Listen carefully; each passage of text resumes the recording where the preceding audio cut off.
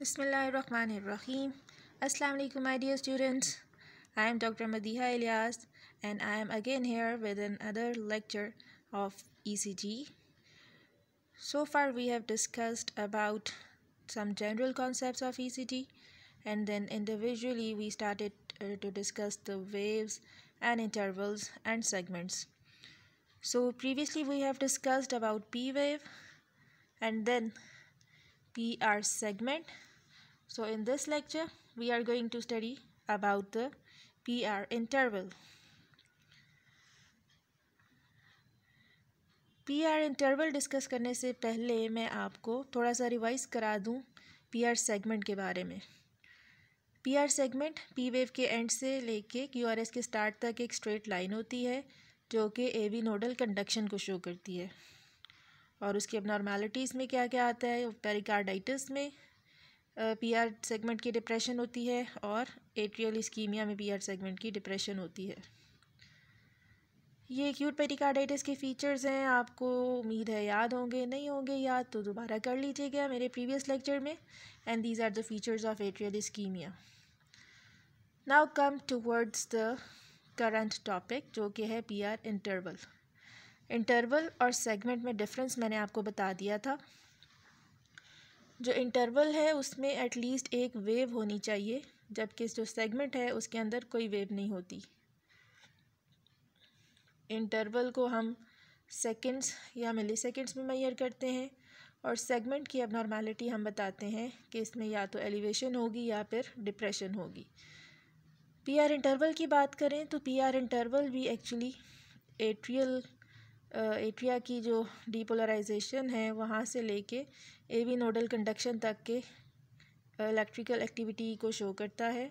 Basically ये हमें A V nodal conduction की डिलेज या उनको अगर अर्ली हो जाती है तो उसके बारे में बताते हैं। ठीक है जी? तो नॉर्मल पी आर इंटरवल क्या होता है? Normal P R interval three to five small squares होता है। तो जो एबनॉर्मेलिटी होगी, उसमें या तो ये थ्री स्मॉल स्केयर से कम होगा, या फिर फाइव स्मॉल स्केयर से ज़्यादा होगा। अगर फाइव स्मॉल स्केयर से ज़्यादा है इट मीन्स के ए वी नोट के अंदर नॉर्मल जो डिले आता था, अब वो उससे ज़्यादा डिले आ रहा है। और अगर ये थ्री स्मॉल स्केयर से कम है, इसका मतलब है कि इम्पल्स ए वी नोड में से पास नहीं कर रही, बल्कि किसी और बाईपास किसी पाथवे से पास हो रही है। तो जो फाइव स्मॉल स्केयर से ज़्यादा का A V node P R interval होगा, उसे हम ए वी नोडल ब्लॉक्स कहते हैं और जो कि तीन तरह के होते हैं। First degree A V block second degree A V block and third degree A V block जबकि जो स्मॉल पी आर इंटरवल होता है या शॉर्ट पी आर इंटरवल होता है less than three small square उसमें प्री एक्साइटेशन सिंड्रोम्स आती हैं। और प्री एक्साइटेशन सिंड्रोम्स में क्या है? W P W syndrome and L G L syndrome आज के लेक्चर में ये सारी चीज़ें डिस्कस होंगी।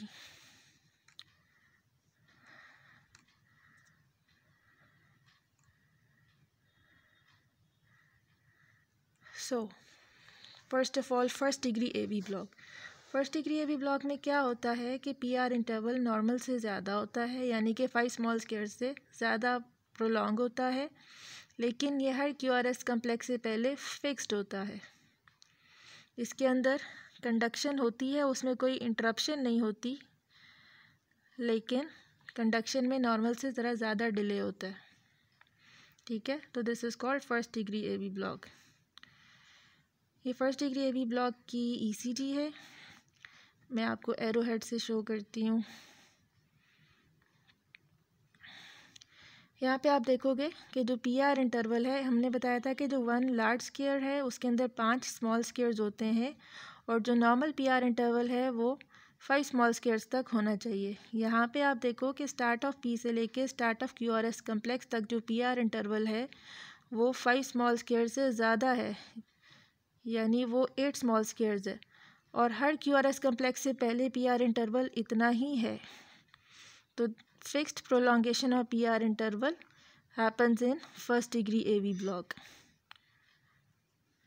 then is second degree A V block second degree A V block की टू टाइप्स होती हैं type one and type two type one में क्या होता है कि पी आर इंटरवल की प्रोग्रेसिव प्रोलोंगेशन होती है और उसके बाद जस्ट पी वेव आती है और क्यू आर एस कम्प्लेक्स नहीं आता।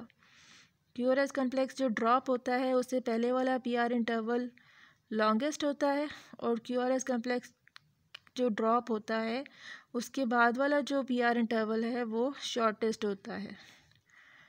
अगर आप पी पी इंटरवल देख, को देखोगे तो वो कांस्टेंट होगा, लेकिन जो आर आर इंटरवल है, वो प्रोग्रेसिवली शॉर्टन हो रहा होगा। और जब हम ई सी टी देखेंगे तो हमें लगेगा जैसे जो ड्रॉप बीट है, उससे पहले एक क्यू आर एस कम्प्लेक्स का ग्रुप है, और उसके बाद एक क्यू आर एस कम्प्लेक्स का ग्रुप है। तो हमें ऐसे लगेगा जैसे ई सी टी के ऊपर ग्रुप बीटिंग है। तो all these features show second degree A V block type one और ये जो फिनमिना है, जिसके अंदर progressive prolongation of P R interval होती है followed by a non conducted P wave इसको हम क्या कहते हैं? Wenckebach phenomena this is the E C T इसमें आप देखेंगे। Let me bring the pointer P R interval first complex से शुरू करें। यहाँ पे पी आर इंटरवल देखें। कितना है? उससे अगला P R interval is longer than this one उससे अगले वाला P R interval is longer than the previous one next P R interval is longer than the previous one till सिर्फ़ P वे Y और क्यू आर एस कम्प्लेक्स नहीं आया। उसके बाद जो साइकिल स्टार्ट हुआ, उसमें पी आर इंटरवल उतना ही था जितना स्टार्ट में हमारे पास यहाँ पे था। So there is progressive prolongation of P R interval followed by a missed beat या फिर non conducted P wave so this is called second degree A V block type one plus आप ये देखेंगे कि इस पी से इस P तक का जो पी पी पी इंटरवल है, वो सब का सेम है। इस पी से इस तक का भी सेम है, इस पी से इस तक, इस पी तक का भी सेम है। P P interval remains constant but जो आर आर इंटरवल है, वो प्रोग्रेसिवली शॉर्टन होता है। वो जब आपके पास लॉन्ग रिदम स्ट्रिप होगी तो उसमें आपको नज़र आएगा। इसमें मैकेनिज़्म क्या होता है कि ये एक रिवर्सिबल कंडक्शन ब्लॉक होता है ए वी नोट के लेवल पे इसके अंदर जो ए वी नोडल सेल्स हैं, वो प्रोग्रेसिवली फटीग आउट होते हैं टिल के वो बिल्कुल ही कंडक्शन को पास करने में फ़ेल हो जाते हैं। ठीक है? पहले वो उनकी कैपेसिटी आराम आराम से कंडक्शन की कम होती है टिल के तक टोटली वो ब्लॉक हो जाता है। ठीक है? तो उसे हम कहते हैं सेकेंड डिग्री टाइप वन और ये डिफरेंट है फ्रॉम टाइप टू जिसके अंदर या तो वो कंडक्ट करेगा बीट या वो कंडक्ट नहीं करेगा ए वी नोट बीट ठीक है? तो ये डिफरेंस होता है इसका टाइप टू से, जो कि मैं आपको आगे एक्सप्लेन करूँगी। This is another E C G of second degree A V block type one इसके अंदर भी आप देखो, जो मैंने आपको पहले बताया था कि आपको ग्रुप बीटिंग नज़र आती है। जैसे देखो, इस वाले को पता करें, देखें तो। ये पी आर इंटरवल देखें। उससे अगले वाला उससे बड़ा, उससे अगले वाला उससे बड़ा, उससे अगले वाला उससे बड़ा देन पी वे वाई और क्यू आर एस कम्प्लेक्स नहीं आया।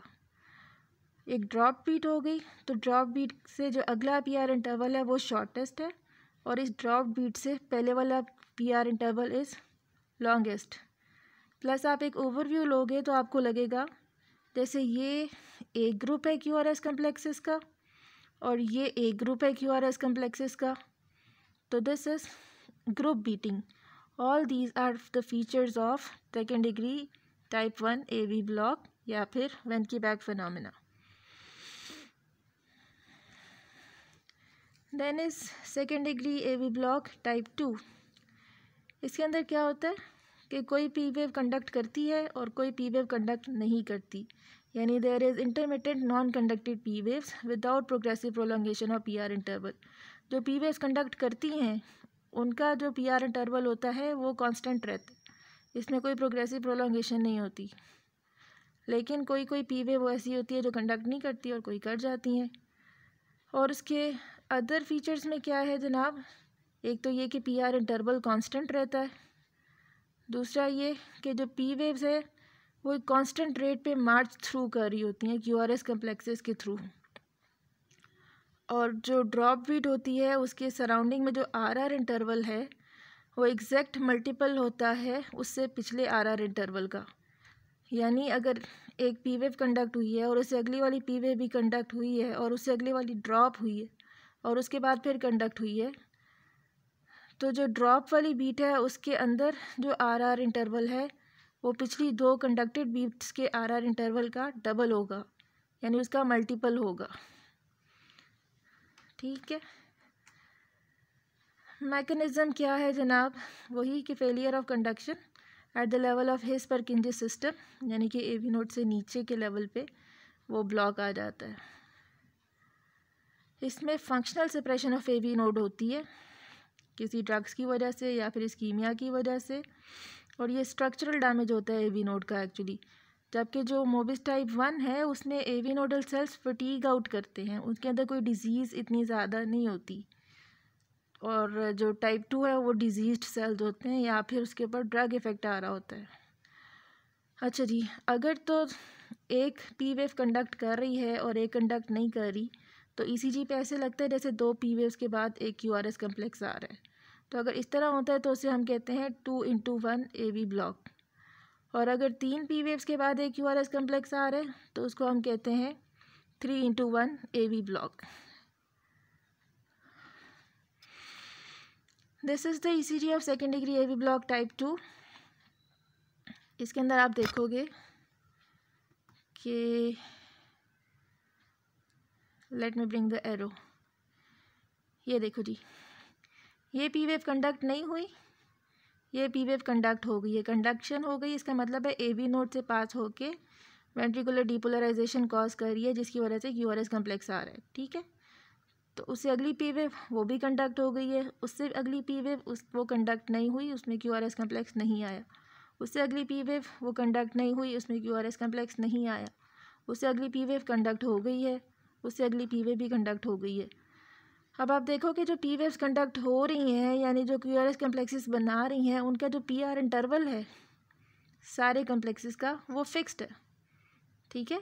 एक जितना। है so this is the hallmark of second degree A V block type two जिसमें intermediate non conducted P waves होती हैं। अगर तो इस तरह का रिदम चलता है, जिसमें दो पी वेव के बाद एक यू आर एस कम्प्लेक्स है और ऑनवर्ड इसी तरह चले कि हर दो पी वेव्स के बाद एक यू आर एस कम्प्लेक्स है। तो उसको हम कहते हैं two into one A V block और अगर इस तरह का कोई रिदम चलता है जिसमें तीन पी वेव्स के बाद क्यू आर एस कम्प्लेक्स आ रहा है, फिर दोबारा से तीन पी वेव्स के बाद क्यू आर एस कम्प्लेक्स आ रहा है, फिर तीन पी वेव्स के बाद क्यू आर एस कम्प्लेक्स आ रहा है तो that is called three into one A V block ठीक है? और अगर इस तरह की सी जो आपको नज़र आ रही है कि कहीं पे two into one A V block आ रहा है और कहीं पे three into one A V block आ रहा है, उसको हम क्या कहते हैं? Second degree A V block with variable conduction या वेरिएबल ब्लॉक्स कहते हैं उसको।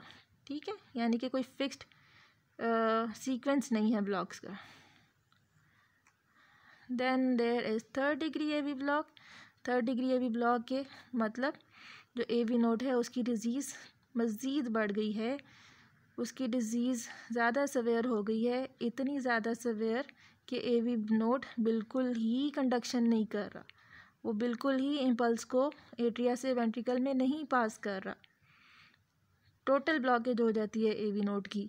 उसे हम कहते हैं third degree A V block उसमें हमारे पास सवेयर ब्रेडिकार्डिया आता है और ईसीजी के ऊपर एट्रिया और वेंट्रिकल का आपस में कोई ताल्लुक नज़र नहीं आ रहा होता। यानी पी वेव्स अपनी मर्ज़ी से आ रही होती हैं और क्यू आर एस कम्प्लेक्सेस अपनी मर्ज़ी से आ रहे होते हैं।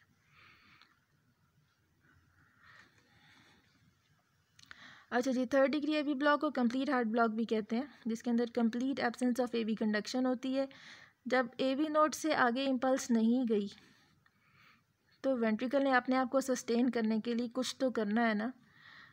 तो जो नेक्स्ट पेस मेकिंग एक्टिविटी होती है, वो जंक्शन की होती है। और अगर जंक्शन भी डिज़ीज़ होता है तो next next pace making activity होती है वेंट्रिकुलर सेल्स की। तो जब हमें वेंट्रिकल को ऊपर से कोई सिग्नल नहीं मिल रहा तो उसने अपनी कॉन्ट्रैक्शन को कंटिन्यू रखने के लिए जंक्शन से वो कहते हैं कि वो इम्पल्स जनरेट करना शुरू हो जाए। तो जंक्शन से रिदम जनरेट होना शुरू हो जाता है, लेकिन जंक्शन की जो रिदम जनरेट करने का रेट है that is normally forty to sixty beats per minute तो वो हमारा होगा ब्रेडिकार्डिया और उसके अंदर ए वी डिसोसिएशन होगी। लेकिन that is not equal to the normal heart rate इसी तरह अगर जंक्शन बी डिज़ीज़ है तो वेंट्रिकल टेक ओवर कर लेगा और वेंट्रिकुलर सेल्स की पेस मेकिंग कैपेसिटी होती है या रेट होता है उसका ट्वेंटी टू फोर्टी बीट्स तो जो वेंट्रिकल से अगर रिदम जनरेट हो रहा होगा तो उसमें फर्दर ब्रेडिकार्डिया होगा। ट्वेंटी से फोर्टी बीट्स पर मिनट का रेट आ रहा होगा। जंक्शनल रिदम जो होता है वो फिर पेशेंट उसमें सस्टेन करता है। जबकि वेंट्रिकुलर रिदम अगर आ जाए विद सवेयर ब्रेडिकार्डिया तो उसके अंदर पेस मेकर डालना बहुत ज़रूरी हो जाता। ये इसी जी आप देखोगे जी, इसमें आपको एरोस वैसे तो शो कर रहे हैं, लेकिन फिर भी मैं आपको पॉइंटर से बताती हूँ। कि ये देखें जी, ये पी वेव है, ये पी वेव है, ये पी वेव है, ये पी वेव है। अगली पी वेव कहीं इसके अंदर होगी then P wave then P wave अब ये सारी जो पी वेव हैं, वो फिक्स इंटरवल पे आ रही हैं, यानी कि P P interval is fixed लेकिन इनका क्यू आर एस कम्प्लेक्सेस के साथ कोई ताल्लुक़ नहीं। ये पी वेव यहाँ से आ रही है, यहाँ पे क्यू आर एस कम्प्लेक्स से इतनी दूर है। ये P wave Q R S complex से इतनी दूर है। ये बिल्कुल ही उसके साथ मर्ज कर गई है। अब एक पी वेव इसके अंदर भी मर सब मर्ज एम्बोस हो गई होगी, ठीक है? तो this is called A V dissociation जिसके अंदर एट्रिया अपनी मर्ज़ी से कर रहा है डीपोलराइज हो रहा है और वेंट्रिकल्स अपनी मर्ज़ी से डीपोलराइज हो रहे हैं, इनका आपस में कोई ताल्लुक़ नहीं है। ये रेट इधर देखो आप तो three hundred one fifty hundred seventy five sixty forty thirty thirty और ट्वेंटी के दरमियान का रेट है। और Q R S complexes are broad तो इस, ये शो कर रहा है कि जो स्केप रिदम है, वो कहाँ से निकल रहा है? वेंट्रिकल से। क्यों? क्योंकि उसकी जो पेस मेकिंग एक्टिविटी होती है, या उसका रेट जनरेट करने की कैपेसिटी होती है that is twenty to forty beats per minute per minute. So इस ई सी टी को देख के आप क्या कहोगे? It is third degree A V block with ventricular escape this is another E C G of third degree A V block इसके अंदर बस रिदम लीड ही दिखाई गई है और आप देखोगे कि there is no association of P waves with the Q R S complexes P wave अपने रेट पे आ रही हैं और क्यू आर एस कम्प्लेक्सेस अपने रेट पे आ रहे हैं और अपनी टाइम पे आ रहे हैं। So this is the E C G of third degree A V block लेकिन यहाँ पे देखोगे Q R S complexes are narrow so narrow complexes हैं। हंड्रेड फिफ्टी सिक्सटी फोर्टी तक का हार्ट रेट है ऑलमोस्ट तो ये कहाँ से रिदम जनरेट हो रहा है हमारा? जंक्शन से। This is the E C G of third degree A V block with junctional escape rhythm अच्छा जी ये तो बातें थी सारी आपके लॉन्ग पी आर इंटरवल की, या ए वी नोडल ब्लॉक्स की। शॉर्ट पी आर इंटरवल का क्या मतलब है कि जो ए वी कंडक्शन का टाइम है नॉर्मल डिले जो three to five small squares है, उससे भी छोटा पी आर इंटरवल हो रहा है। अब ऐसा कैसे हो सकता है? जो ए वी नोड है उससे अगर कंडक्शन होगी तो उसमें तो जो नॉर्मल डिले है, वो तो आना ही आना है। तो वो शॉर्ट कैसे हो सकता है? वो शॉर्ट इस तरह होगा कि there might be some abnormal connection between atria and ventricle तो जो इम्पल्स है, वो ए वी नोड से गुजरने के बजाय डायरेक्टली एट्रिया से वेंट्रिकल में चली जाती है थ्रू दैट पाथवे यानी उसकी एक्साइटेशन नॉर्मल से पहले हो जाती है। तो जो शॉर्ट पी आर इंटरवल वाली इंटरवल वाली सिंड्रोम्स हैं, हम उनको क्या कहते हैं? प्री एक्साइटेशन सिंड्रोम्स जिनके अंदर एक एबनॉर्मल पाथवे होता है, जो कि कनेक्ट कर रहा होता है एट्रिया को वेंट्रिकल से। इसलिए पी आर इंटरवल हमारा नॉर्मल से कम हो जाता है। प्लस जो एवी नोडल जंक्शनल रिदम होते हैं, उसके अंदर भी पी आर इंटरवल हमारा फाइव स्मॉल स्केयर से थ्री स्मॉल स्केयर से छोटा होता है। ठीक है? प्री एक्साइटेशन सिंड्रोम्स हैं कौन सी? डब्ल्यू पी डब्ल्यू सिंड्रोम यानी Wolff Parkinson White syndrome and Lown Ganong Levine syndrome L G L syndrome और इस स्लाइड में यही बताया कि इसमें एक एक्सेसरी पाथवे होता है और उस एक्सेसरी पाथवे की कंडक्शन कैपेसिटी बाकी कंडक्शन सिस्टम से ज़्यादा फास्ट होती है। डब्ल्यू पी डब्ल्यू सिंड्रोम में क्या होता है जी? P R interval is shorter than three small squares and there is a slur in the start of the Q R S complex जिसे हम क्या कहते हैं? डेल्टा वेव कहते हैं। आप देखोगे कि जो पी आर इंटरवल है स्टार्ट ऑफ़ पी और ये Q R S complex start हो गया। This is less than three small squares और जब प्लस ये कि क्यू आर एस कम्प्लेक्स के स्टार्ट होने से पहले जो स्लर सी आ रही है, जो स्लोप सी आ रही है, इसको हम कहते हैं delta wave R interval with an slurred upstroke of the Q R S complex उसे हम कहते हैं W P W syndrome next is L G L syndrome Lown Ganong Levine syndrome इसके अंदर क्या होता है? इसके अंदर भी एक एबनॉर्मल पाथवे होता है जो कनेक्ट कर रहा होता है एट्रिया को वेंट्रिकल से लेकिन इसके अंदर कोई डेल्टा वेव नहीं होती. सो so, इसके अंदर सिर्फ़ शॉर्ट पी आर इंटरवल होगा. लेकिन Q R S complex normal morphology का होगा। जैसा कि let me show you through the arrow look ये देखें जी, ये स्टार्ट ऑफ़ पी है और ये start of Q R S complex है। तो जो P R interval is less than three small squares लेकिन यहाँ पे start of Q R S complex में कोई स्लर नहीं आ रही। क्यू आर एस कम्प्लेक्स का नॉर्मल आप स्ट्रोक है। So this is the feature of pre excitation syndrome कौन सी वाली? एल जी एल सिंड्रोम या फिर लॉन लेविन सिंड्रोम। इसके अलावा जो एवी नोडल जंक्शनल रिदम होता है, यानी जो जंक्शन से रिदम जनरेट होता है और उससे रिट्रोग्रेड पी वेव बन रही होती है, उसमें भी पी आर इंटरवल आपका नॉर्मल से कम होता है। तो जो जंक्शनल रिदम की पहचान क्या है? या तो उसमें पी वेव आ ही नहीं रही होगी अगर आ रही होगी तो पी वेव इन्वर्टेड होगी और क्यू आर एस कम्प्लेक्स के बिल्कुल साथ आ रही होगी। ठीक है? तो this is the E C G of A V nodal junctional rhythm ये डब्ल्यू पी डब्ल्यू सिंड्रोम से क्यों मुख्तलिफ़ है? इसलिए कि इसमें जो पी वेव की डायरेक्शन है, वो नेगेटिव है।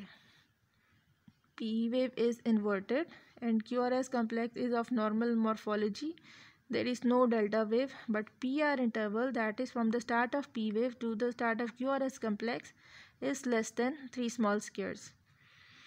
ठीक है जी? सो so, तो हम लोगों ने आज क्या पढ़ा? हमने पी आर इंटरवल के बारे में पढ़ा। पी आर इंटरवल एक्चुअली क्या है? ए वी नोडल कंडक्शन को शो करता है।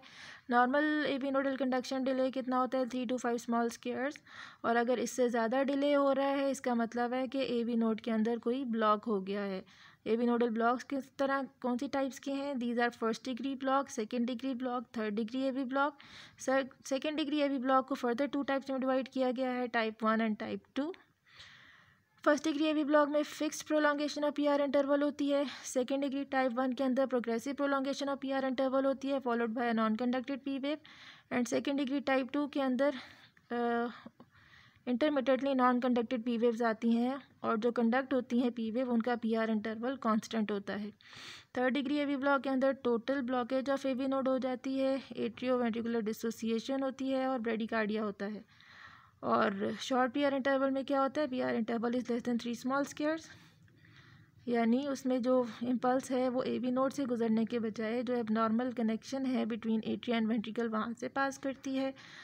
उसकी कंडक्शन कैपेसिटी फास्टर होती है, इसलिए P R interval is shorter than normal pre excitation syndromes में क्या क्या आ जाता है? W P W N L G L syndrome इन दोनों का आपस में क्या डिफरेंस है? दोनों में पी आर इंटरवल शॉर्ट होता है, लेकिन डब्ल्यू बी डब्ल्यू के अंदर एक स्टार्ट में डेल्टा वेव आती है और एल जी एल के अंदर डेल्टा वेव नहीं आती.